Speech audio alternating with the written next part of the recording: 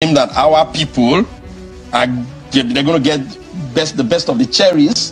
And if you want me to tell you what, I can tell you the things we've gotten already and the things that are likely to go to get. What are those? Come on, man. We're in charge of customs.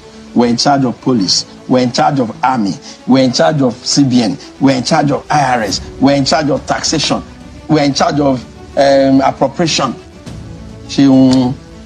Have we become such a people that we can only be fair when we're talking about So- other so you are- people? so you- I am beginning Yeah. to see a pattern that we're getting, all of the cream is coming to us.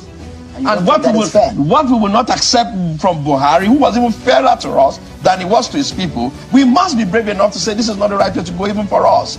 We're not going to suddenly become a parochial people who insist that all of the things in the country, Yoruba people are the. Listen, Shehu, does it not prick your soul